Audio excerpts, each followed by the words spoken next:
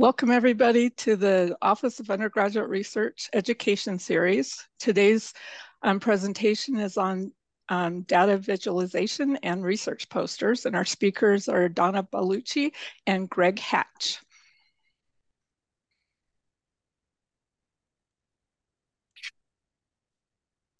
Uh, today's event is virtual, it's being recorded, so we ask you to mute yourself and turn off your camera to ensure the best experience. If you have any questions, please put them in the chat feature or you can unmute yourself when invited by the speaker.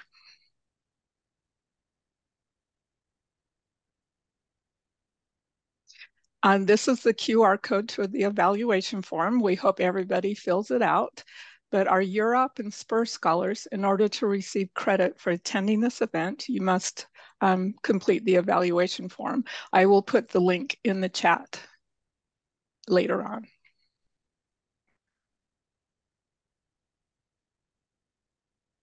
Now, the mission of the Office of Undergraduate Research is to facilitate and promote undergraduate, student, faculty, collaborative research, and creative works in all disciplines throughout the University of Utah campus. In recognition that excellence requires diversity, we pursue this mission through equitable programming that promotes diverse representation and social justice.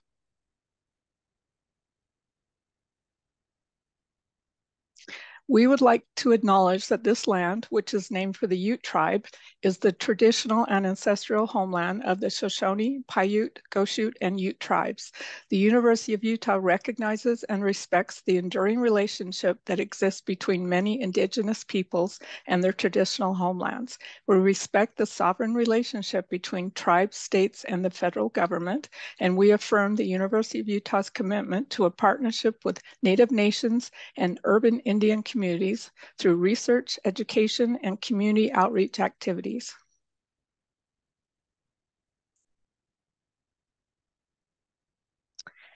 And I will now uh, let today's speakers introduce themselves. Hello, everyone. Thank you so much for coming. I'm so happy to see all of you in this beautiful summer day. Um, my name is Donna Baluchi, and I'm the Equity, Diversity, and Inclusion Librarian at the Eccles Health Sciences Library. But before becoming a librarian, um, this is like my third or fourth attempt at a career, um, I was actually a graphic designer. So that is why I'm here to help you out today. Hi, I am Greg Hatch, and I am the head of Creativity and Innovation Services at the Marriott Library on the main campus. And I am also the library's liaison to the performing arts departments. Prior to becoming a librarian, I was a professional stage manager and a lighting designer. So before we get started today, I first want to know how all of you are doing. And um, to do that, I would love if you are comfortable, drop an emoji in the Zoom chat on how you're feeling today.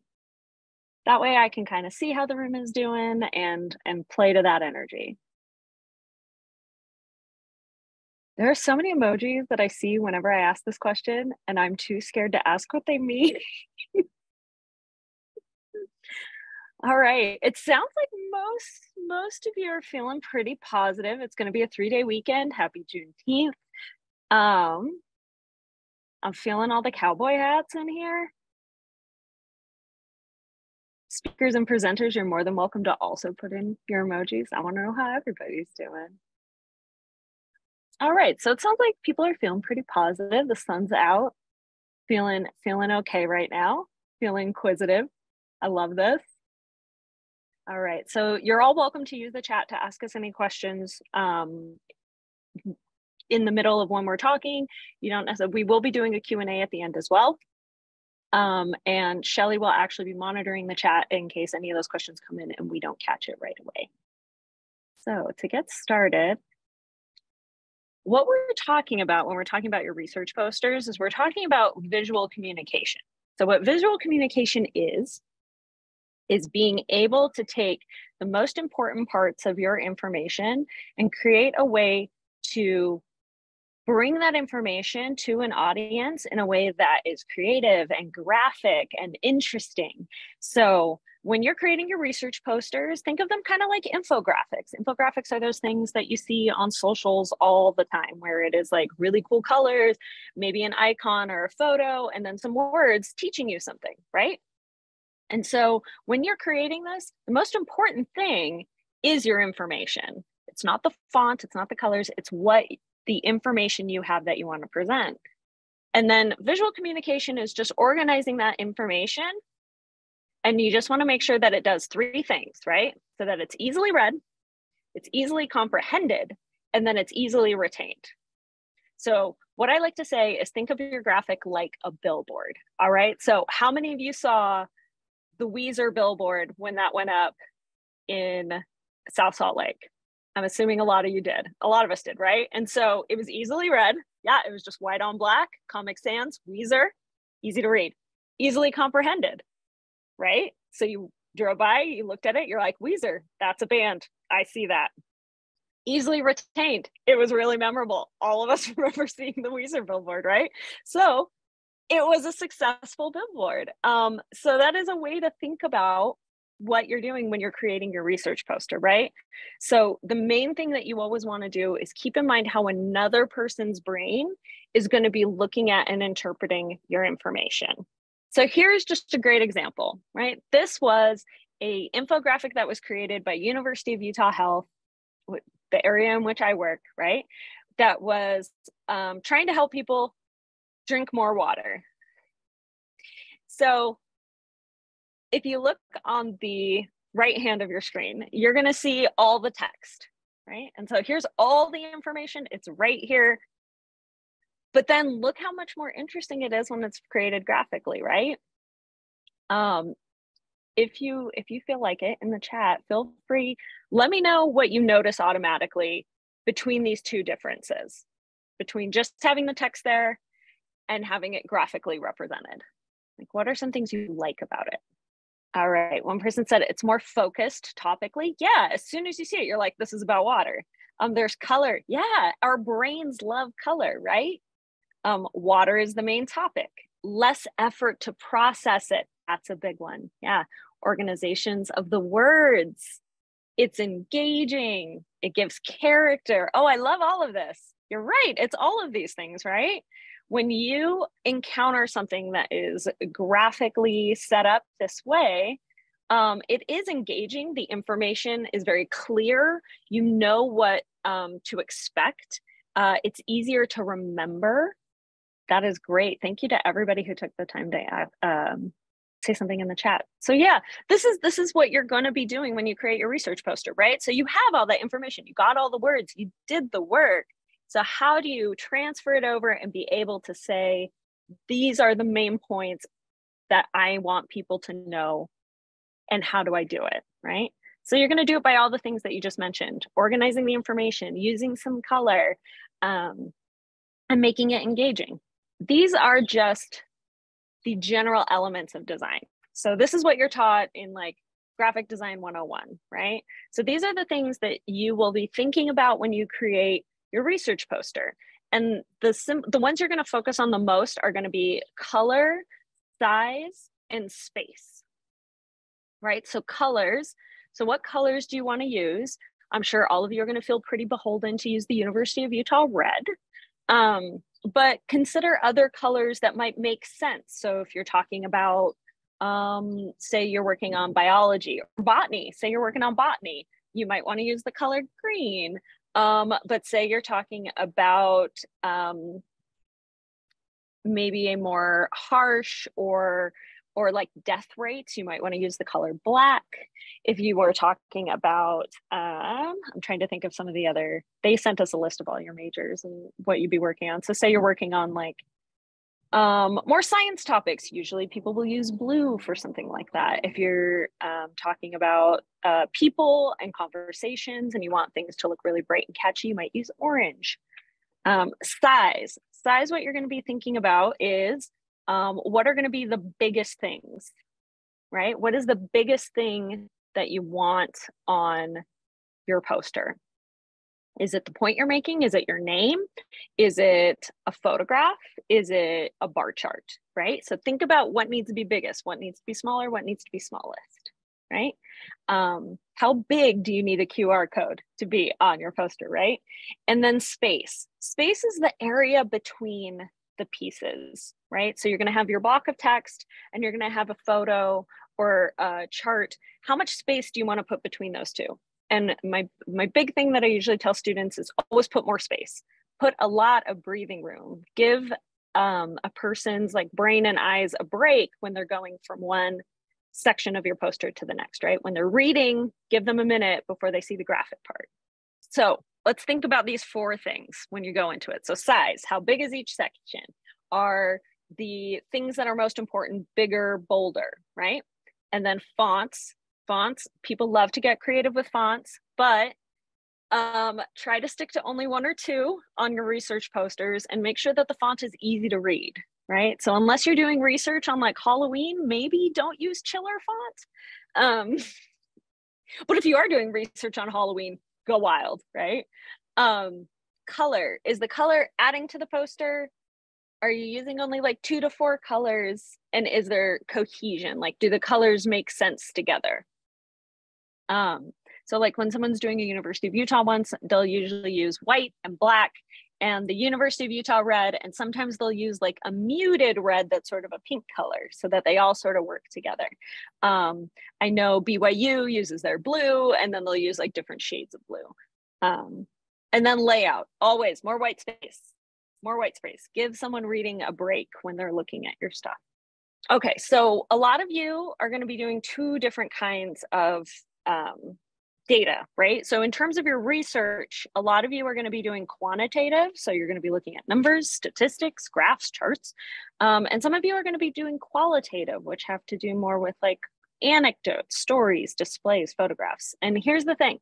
I know that a lot of uh, qualitative posters, people can get kind of hung up on like, well, I don't have numbers to put in a bar chart. So what do I, what do I do to create something that is like you know data visualization the thing is that opens up so many more things that you can include right you can have any mix of these kinds of things on your poster to visually depict the information that you gathered as part of your research. So if you're doing something qualitative right you can use stock photos um, you can use displays you can use um, stories. So you can like have a you know an icon of a person and have a quote and have something written out in there.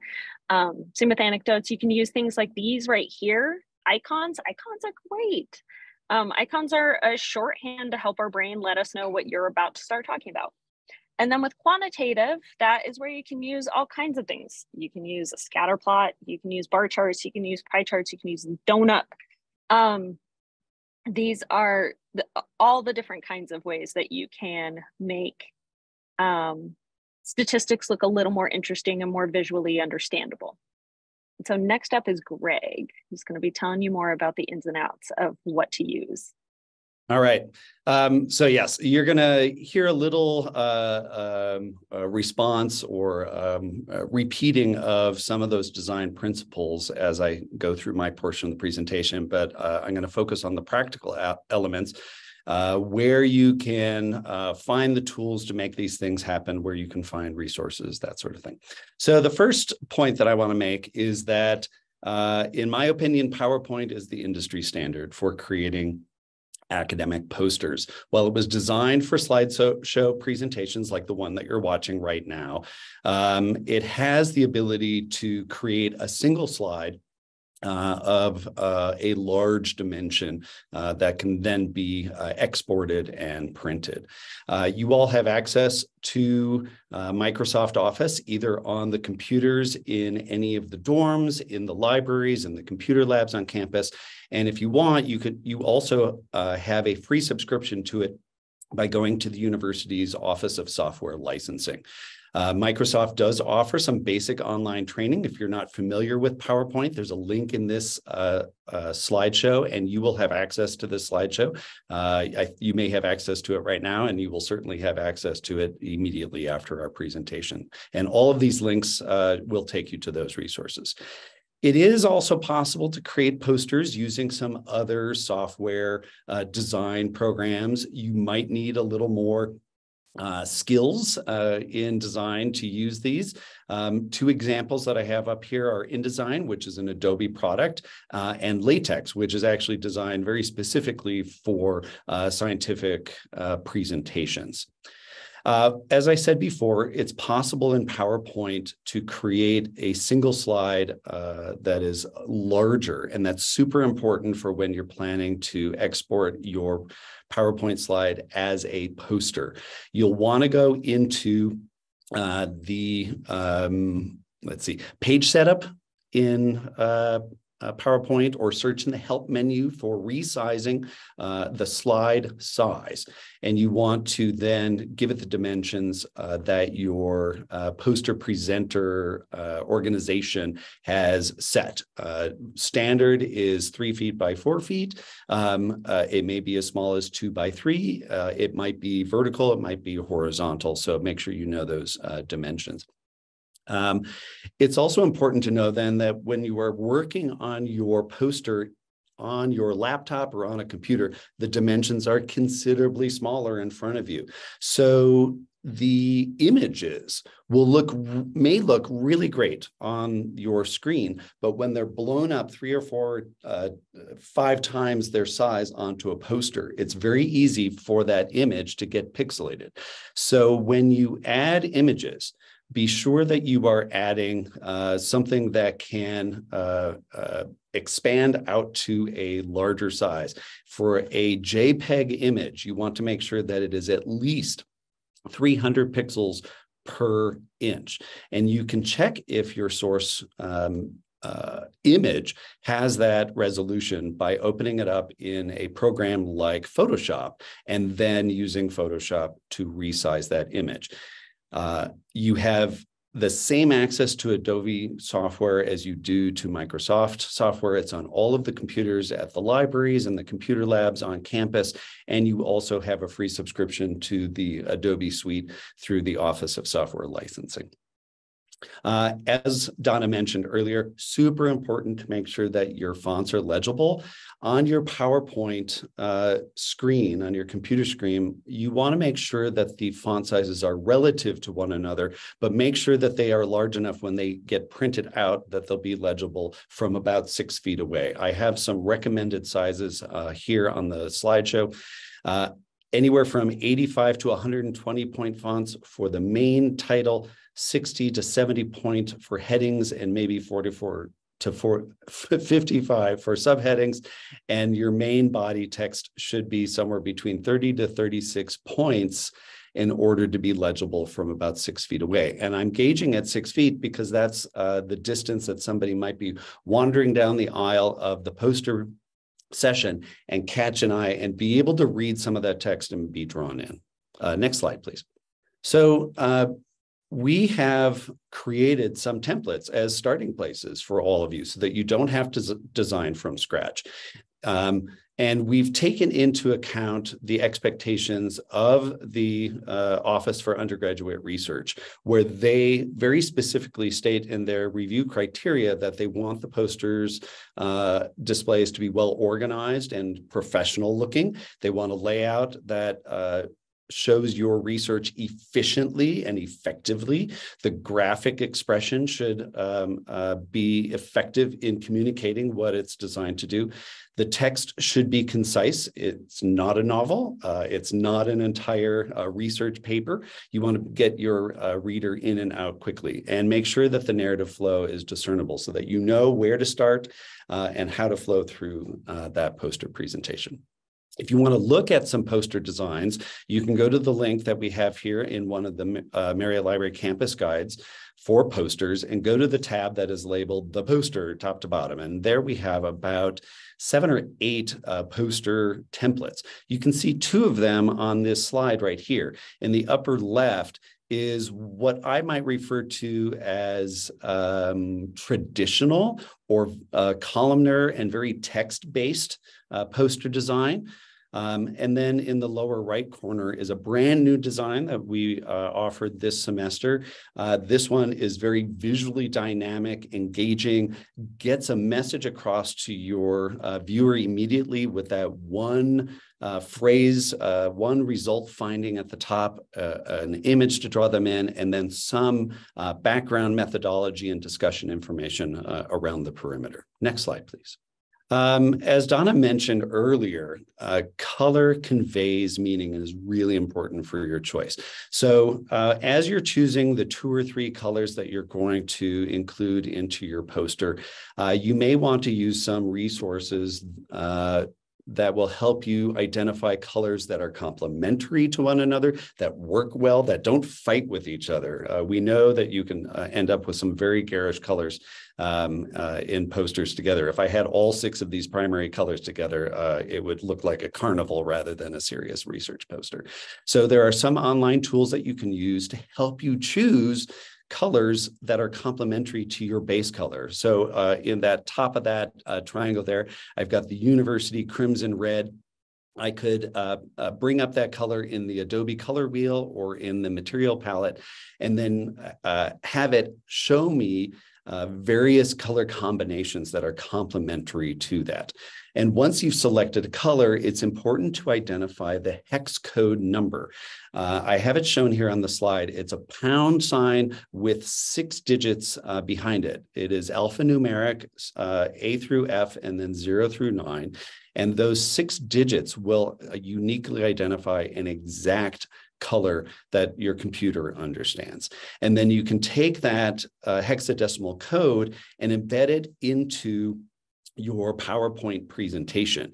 You can take an object uh, such as a shape, a circle, uh, a box, or the outline or the background for it. Uh, you can do it for the font, for the text that you have on the screen, you choose to format that particular object and then choose the fill. Uh, it might look like a um, highlighter marker or a bucket of paint pouring out some color. And then you can choose the advanced menu uh, or uh, it might say uh, more fill colors, and that's where you'll be able to enter in that six digit number and assign uh, that color to that specific item. It's also important to know that while you are designing on a computer screen, your final product will be printed out.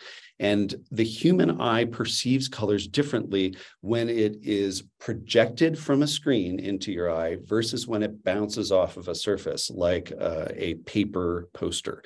So uh, this is why uh, it, it's important to know the difference because when you're designing on your computer screen, what ends up printed on the poster may look a little different. And just for a little background, um, the color uh, system that is used for uh, screen objects is called RGB, which is stands for red, green, blue. It's the uh, the three light colors that, when combined, create white. Uh, versus printing on paper, they use the CMY uh, K combination, um, which is cyan, magenta, yellow, and K stands for black. Uh, and those four colors give you this a broad spectrum of all of the colors, presuming you're printing on white paper. So uh, colors on screen are additive and are projected. Um, colors on a piece of paper are subtractive, and ref it's reflecting off uh, the color. Um, and there are so many more options on your computer screen than there are in uh, the uh, printed style. You only have about 2,000 colors to choose from. That's actually still quite a lot. So um, all of this distilled down, it's important to recognize that the presentation that you're looking at on the screen is going to appear brighter to you while you're designing and will appear darker on the actual printed page. So if you really care about the color that you're seeing in the finished product, I uh, suggest that you print off maybe just an eight and a half by 11 version of your poster to see what the colors look like in real life and then adjust from there. Um, one more point is to think about um, accessibility. There are some people, there are a lot of people who have color blindness and there's not one style or what type of color blindness. Some people uh, mix up uh, red and green, other people have red and blue, uh, other people see just shades of uh, gray. Uh, if you want to check whether your posters colors and and combinations of colors uh, provide the right contrast you can take a JPEG screenshot of your uh, poster and run it through the colorblind simulator. And it will uh, show you all the various ways that a colorblind person will see your poster depending on the type of colorblindness they have. And then you can adjust your colors accordingly. Uh, next slide, please. As Donna said earlier, uh, you can use some uh, data visualizations to communicate your, uh, your quantitative uh, information quicker or the qualitative uh, information. And the libraries provide a lot of tools for you to be able to do this.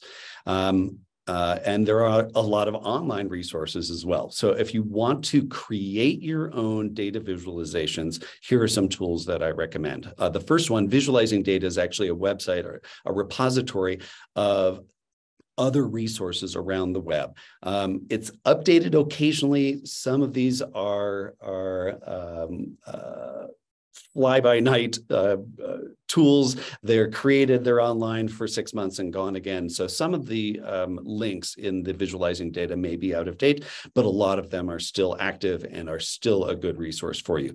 Caveat emptor, recognize that some of these free tools uh, may have uh, reasons why they're free. They either limit some of the options or they uh, force you to have a branded watermark on uh, the output uh, object, um, and you may have to pay a small fee in order to remove those uh, those limitations. But for the most part, lots of free, useful stuff. Some of them that I really like and I highly recommend include raw graphs. And if you look at the bottom of my slide here, those five images were all exported using the raw graphs tool. It's completely free. You can upload structured data. So if you have a, .csv file, uh, you can upload that into raw graphs and uh, start manipulating your data and export a wide variety of bar graphs, line graphs, uh, uh scatters, plots, um, timelines, that sort of thing.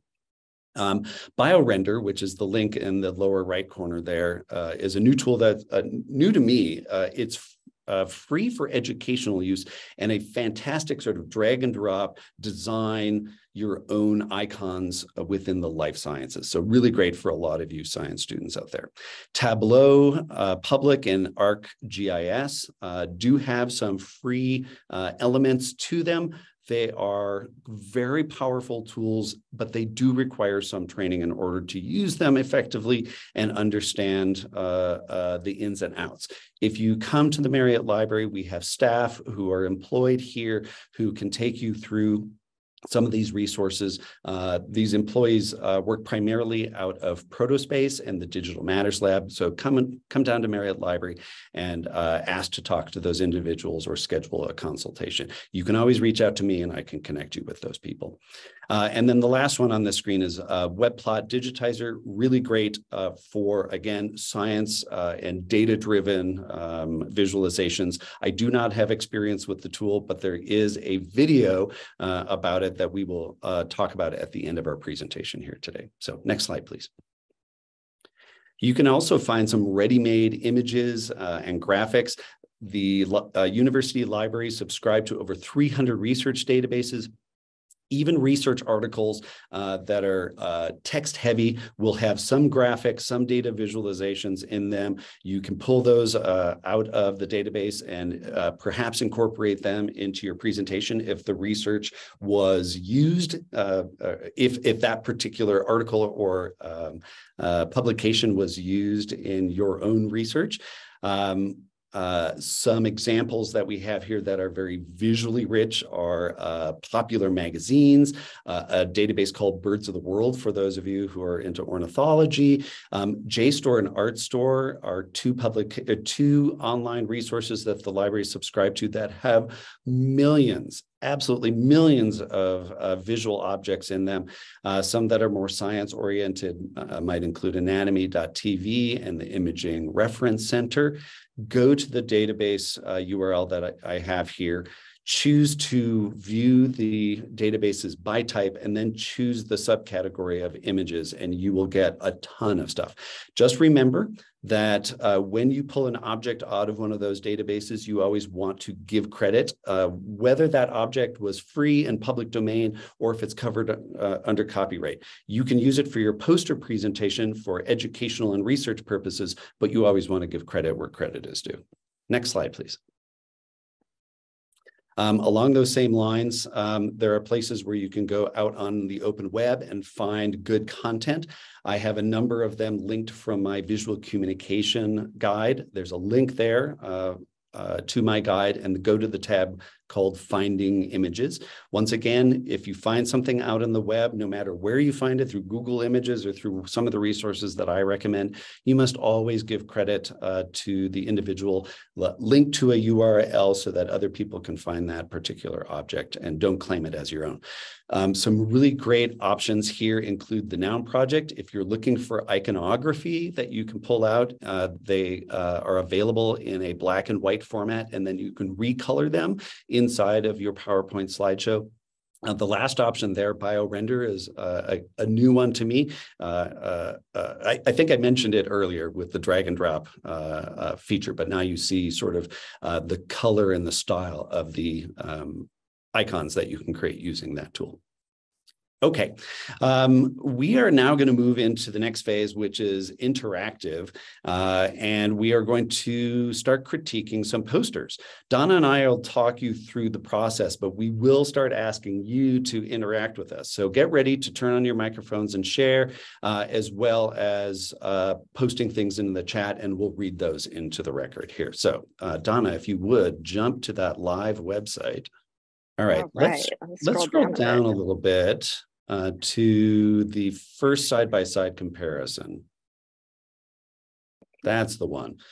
So um, some of the things that Donna was talking about uh, earlier about uh, the graphic design principles are very well illustrated here. On the left-hand side, we have a fairly traditional poster, almost looks like a, a research journal article. It's got a big banner uh, title on the top, tons of text, almost no white space, and a couple of uh, uh, graphs in the middle of that versus the same sort of uh, idea as far as a poster is concerned on the right hand side we've got lovely uh, engaging color first of all we have a qr code in the upper right hand corner that probably takes uh, the viewer to the heavy uh, uh, well documented website with all of the research data and a full write up uh, maybe even a published article about this particular research it's got lots of white space notice white space doesn't have to be white it can just be a neutral background color. Uh, it's just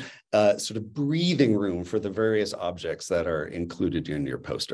So let's uh, let's go down to uh, the first example that they have of a research poster.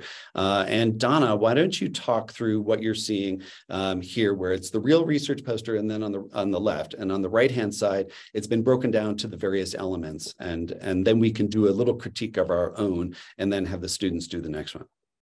Absolutely. So if you're looking at this, so these are done in more of a vertical style than a horizontal style. The majority of you will probably be doing more horizontal posters. But in the case of this poster, you can see right at the top, you have the logo for the university and then a title. And then after that, it actually has a comic. So they put together a comic to try and show in a more um, funny way what they were doing.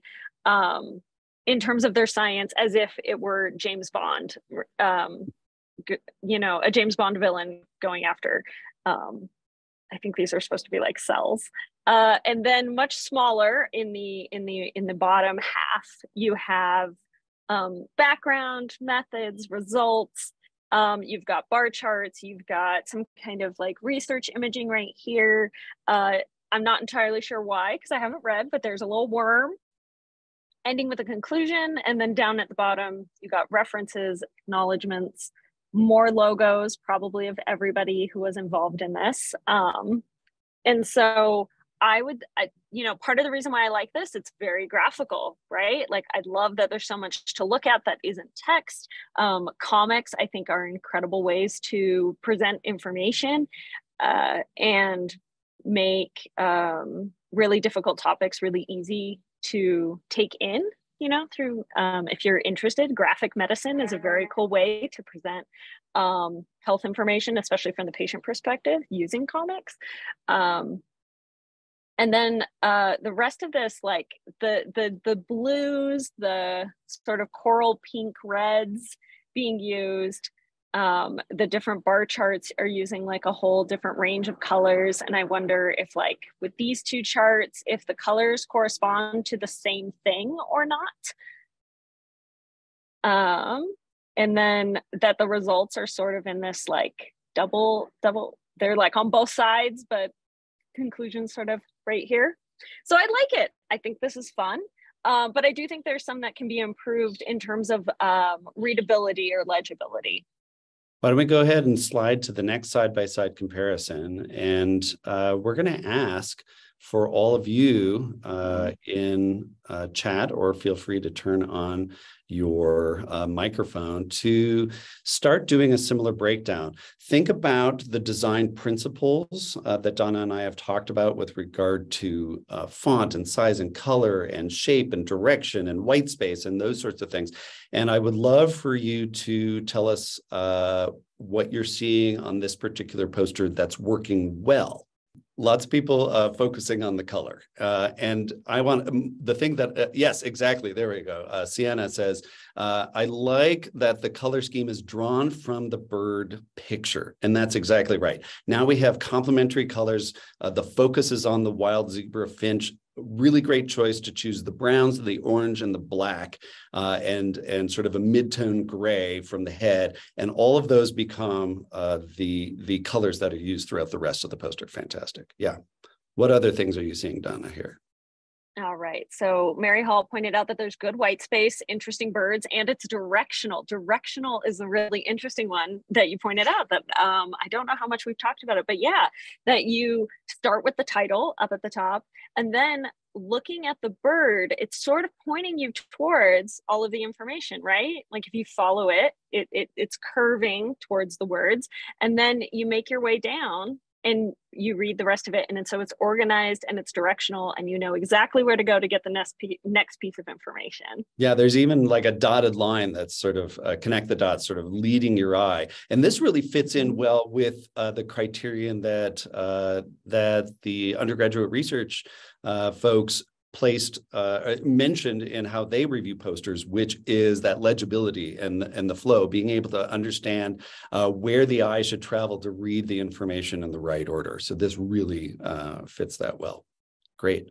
Um, should we do one more on this website, and then we'll flip over to some real posters from uh, your peers, previous uh, uh, OUR poster presenters. So here's another one. Um, and uh, I think there are a lot of great things in this poster, but what I would like you to comment on this time is what is not working well in this poster? What could be improved if you had the opportunity to revise this poster? What would you focus on changing? Text size. Keep in mind, of course, this is on your screen is probably about eight inches tall rather than you know uh, four feet tall. But yes, uh, the the font size might be a little small there. Uh, the background color, very dark. That might make it hard for the other colors to stand off the background. So that's certainly a consideration. Although if we uh, really liked the idea of using the colors from the Finch, uh, they've used the same idea here of the yellow, green, and the black uh, off of this particular crab. Um, but yes, uh, it might be possible to take that that black and turn it into a gray so that it's not so harsh. Uh, that's a possibility. Um, uh, Emily is saying, and a couple other folks have mentioned that it feels sort of cluttered. So maybe there's not enough white space around uh, everything. And it's entirely possible the black color is also making it feel cluttered. Um, somebody suggested flipping the color scheme. So maybe you would have the yellow as the background and use black and green and gray as, as uh, the front colors. Great. Uh, there's a confusing flow. I will say that this person made an attempt at showing the flow. If you look at the yellow subtitle banners, they have a little arrow point on the right side, sort of pointing you to go across. But yes, uh, it is not a natural read of this particular poster to read from uh, upper left to upper right to middle left to middle right to lower left to lower right. Uh, it it uh, that might be how we read on page, but when we have that center divider, it's it's confusing as to where the eye should go next. Should it read all the way down the first column and then the second column, or uh, left or right all the way across. So great. Those are things that I would look at to change and how I might critique this particular poster. Why don't we go back to our slideshow and we are going to be presenting you with some uh, photographs of posters from February's UCUR conference. Um, I took these photos when I came through um, uh, the three or four sessions that were uh, held in February. I did get the presenters' consent to take the photos, but we have blurred out identifying photos of the individuals um, because we want you to focus on the posters themselves. So here we have two side-by-side -side, uh, posters, obviously pulled from the same template but they are there. Uh, each of them has some different elements that the uh, designers have chosen to add or take away. And I'm interested to hear what you are seeing uh, in uh, the differences between these posters, for good or for bad. Yeah, the first comment is the first thing I thought, or the first two comments that it really helps to have that large photo um, for the one on the right. And let me ask a follow up question what is it about that big picture? What what is it doing? Um, is it is it telling a story? Is it uh, what are the benefits? There we go. That's uh, of having a large image like that. So um, uh, uh poster number 30, oh, uh, Alondra has already sort of responded to that, saying the big picture represents the topic. Very quickly, I don't have to read a single word. I can already see uh, the LDS temple in Salt Lake City. I can see a pride flag. I can see people uh, milling about, perhaps marching, and I already have an idea of uh, the context of this particular poster instantly within one second. Uh, other things that I'm seeing in this particular poster. Uh, oh, yeah. Thank you, Olivia. Yes, an image like that catches your attention from a far away and draws in the person to have a conversation with the poster presenter to get them to start reading more. That big title gives you a, a, a big draw. And then when they come in about six feet away, they're able to read all of the rest of that text. Um, uh, Levi uh, says, or Levy uh, says that the poster on the right has a clear title that gives context to the poster, while the poster on the left ends up being slightly vague. So choosing that highlight, that that uh, that uh, phrase that you're going to put if you choose to have this big uh, banner, is it a title? Is it a uh, caption? Is it a quote from uh, from somebody that you talked to and interviewed? Is it uh, your key research finding? Uh, really, uh, all different choices and all could have uh, pros and cons. So why don't we move on to the next uh, image? Uh, by the way, Emily just pointed out that they have a QR code with more information, so it isn't all cluttered. Oh, is... fantastic! Great idea. Yeah, and it and it even says there, you know, scan here to see the survey and read more information about our research team. So we don't have to cover it all in the poster. We can lead people to a website if they really are interested in our topic. Fantastic. Good eye, Emily. So we have two more side-by-side -side posters. The one on the left looks like it had a very similar template, maybe the identical template uh, to the previous ones. And then the one on the right, uh, entirely different template. Um, let us know what you're seeing that you like about these posters or things that you, if you had the opportunity to revise them, would change um, for the left or for the right. On the right, I would definitely reduce the amount of text given, said Paulina. Uh, the right could use headers to separate the info better. Really squished spacing. right one, the font is too small. It's overwhelming. Um, re- uh, let's see, multi. I really like how the images on the left can give a good idea about the topic. Yeah, the the text on the poster on the right is um it definitely gives the impression that they took their entire abstract and just copy and pasted it into a column um, while trying to just create a really big explainer in the middle. Um, but even that, that explainer almost seems a little too long as well. Yeah, I agree. I mean, if you look at it, it's two full sentences versus a blurb or a, a single sentence at most. Yeah. Uh, Landra makes note uh, that the uh, U U icon seems uh, small. I presume we're talking about the one on the right-hand side. Um, I want to point out some things that I uh, like about the one on the left. One, uh, they added that extra gray banner across the top, not necessary in all posters, but I like the fact that uh, it says business because I first look at this poster and I think it's going to be about architecture or engineering. And this person is saying, nope, this is a business look at some construction uh, related research. So uh, it's really uh, a great way of clarifying uh, the context for the images and the content that we're seeing on the screen. Um, let me see. One student, let me see, who was it? Abril said bullet points. Love those. Yes, we had a question um, in last time we taught this class where someone uh, just generally asked, like, how do I make my words um, like more brief. How do i condense all of this into something that is like fewer words? And one of the easiest ways that you can do that is just use bullet points. Just bullet point the main things that you need to say and that will automatically cut down on words and it will separate the ideas. Why don't we move on to the next slide? I'm going to keep an eye on time. We've got about 10 minutes so we'll do a few more of these so uh, the UCUR conference was uh, statewide. So we had students coming from uh, all uh, institutions all around the state. Here's an example from a student at BYU. We know that because they have the BYU, BYU logo right there in the upper left-hand corner.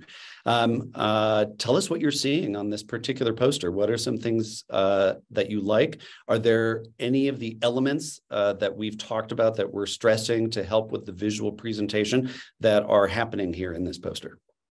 Let's see. I, um, Paulina said, I honestly like the poster. The subtitles and images give me an impression of uh, what I'll listen to.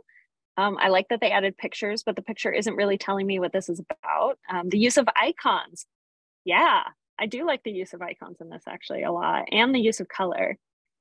I also think that um, given a horizontal poster and the ability to figure out the navigation. Which way does the information flow? I think this one works beautifully. We have the abstract in the upper left. That's the natural place for us to uh, read as uh, English speakers and uh, we go top to bottom. So we go abstract to pro. And because of that center image, we have no choice but to continue going uh, across uh, the bottom. So we know precisely where to go all the way over to cons. And then the last place that we haven't seen yet on the poster is going up to the conclusion. So that's a really nice flow. It is not the most logical way. It's not the way that I have ever done in a poster, but I think it's very effective. Okay, let's go on to the next poster. So this one is from uh, Utah State. If we get through more slides, you'll see uh, other presenters who have a similar layout. Um, what are some things that we haven't heard you comment on yet that uh, are unique about this particular poster that uh, are that, that are really working for this poster? So uh, Mauro uh, Gonzalez says effective use of a map. There we have uh, the shape of the state of Utah, and within it there are icons uh, showing flames. I immediately know that we're talking about wildfires uh, in the state of Utah. Fantastic, great. Yep, instant read on that one. Um, highlighting uh, and contrasting color on the most important words in that banner. That really stands out for me. Small culverts at risk. It's like a sentence within a sentence or a phrase within another phrase right? It's it's uh, wonderfully designed in that particular case. And the colors are complementary. We have a dark blue background we have the light blue for highlight and then white text. And they use that same light blue as headers when they're on the white background. So it's a really nice use of just three colors to uh, give us a cohesive layout yeah, speaking of the colors, I also like that the orange from the flames is the same as the blue and orange that's being used on the graphs over here as well. Right. Um, Bethany mentions there's a lot of pictures and not much description here. So we have um, we have photo documentation of the research, uh, this of uh, how this person is developing or um, uh, doing their research, and it's engaging. It draws us in. That big middle really draws us in. And the point of a poster session really is to have a conversation with the researcher. They're giving you just enough information for you to read it through quickly, and then you can follow up with additional questions uh, to find out more about, uh, you know, uh, uh what additional findings did they have, what challenges did they have, that sort of thing. I would say this is a near perfect poster. The only thing that's missing, and maybe it's behind uh, uh, uh, the person standing in the suit, but there's no QR code taking us to uh, the full development of the research in a website. But honestly, I think this is a near perfect poster as far as uh, my criteria is concerned. So I agree. Let's move on to the next one. Uh, and this will be our last one. So uh, now that I've mentioned the QR code, we chose this one to, to include in here.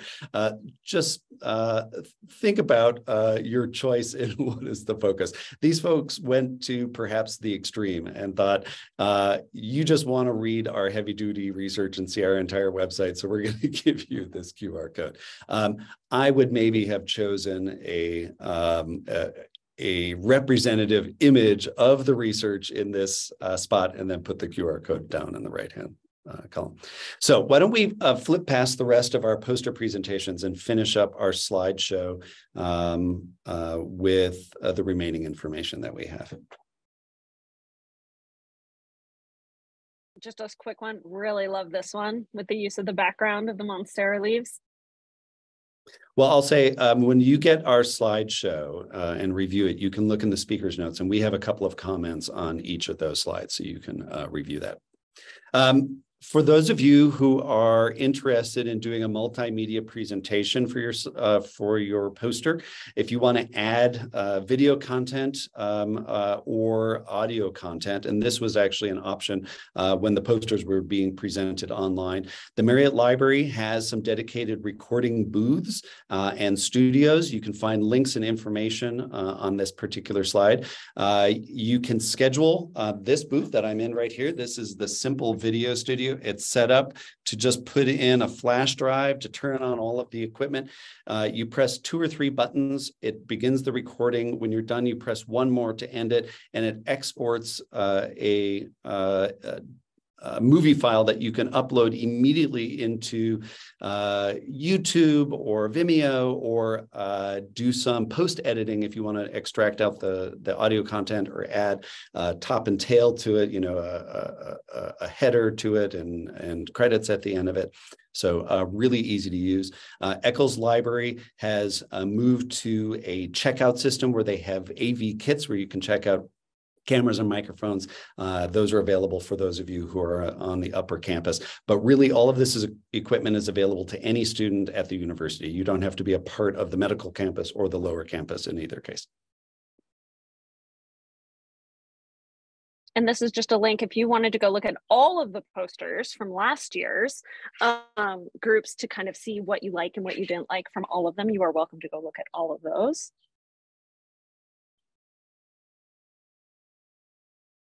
And all of these links will be available when we um, upload this. All of these are clickable. Um, and I think some of them might have already been made available to you. So one quick comment. I said earlier in my presentation that there was sort of a, a, very scientific oriented data visualization tool. This video here, this education tool uh, with uh, Dr. Sparks. Uh, Dr. Sparks is the one who introduced us to that tool and can provide you with more information about utilizing that uh, data visualization tool. All right, so any questions in the last couple minutes here that you have for me or Greg. And, and these are just links to make uh, appointments with either of us. If you want us to actually sit down one to one and look over your research posters, we are both happy to do that. Yeah, that's exactly right. These links will take you directly into our calendars and will show you what hour long periods we have available for consultations. All right, any questions? All of the links are in the slideshow. So when you go through the slideshow, you can actually click the links and they should, I think Shelly already put the link to the slides um, in the chat. Great. And You're we have, welcome. A, we have a comment from Bethany. One issue uh, that I have with the QR codes is that whoever scans it now has complete access to your data. Well, you get to choose what you put on that particular website. The QR code is there as an effective way of bringing people either to a duplicate copy of your poster, that could be the end result. It could take them to a website that merely provides them with background information on all of the researchers who were involved. It could take them to a citation, a complete citation list. Like here are all of the articles that I used. You don't have to put in all of your data on that particular web page or website. You get to decide what goes there. The QR code is just a really easy graphical way of getting them to that page. They can bring up their phone. Everyone does it now. Instead of typing in a URL, they just use the QR code and they're and they're off running. So Aaliyah asks, is it normal to add QR codes? I would say it wasn't until about a year ago. And now it is very much like expected um, that QR codes are put on posters. A lot of us who present at academic conferences, like myself and Greg, um, the conference itself will create QR codes for every single poster and they'll send you yours. And that way, when someone is visiting it, it will take them to a page with, say, a digital version of your poster, maybe some more information, maybe some handouts that's on like the conference web page. So, yeah. yes, they are very normal to be on there. Yeah, but the caveat again is if you don't have additional information, if you if if the poster is complete for what you want to share with your reader, you don't need a QR code, but it is it is handy for taking somebody to a copy of your poster if you want them to be able to access that digital file at minimum. So we're we are now at uh, a full hour. Um, I'm going to leave it with uh, you have our contact information in this slideshow. You have links to our calendars where you can schedule consultations. If you have more questions, please feel free to follow up with us directly through email or by scheduling a consultation. And we'll turn it back over to Shelly to close out the event. Thank you, Donna and Greg, for an amazing presentation as always. As always, um, I just want to remind everybody about the evaluation form. I, I am putting the link in the chat right now, or you can scan this QR code. Um, just a reminder, UROP and SPUR scholars must fill this out, this evaluation out to receive credit for attending the event. And next slide, just want to remind everybody about um, OUR. Um, we're at our.utah.edu. You can email us at our at utah.edu or give us a call at 801-581-8070. So thank you very much for attending and thank you, Greg and Donna, for presenting.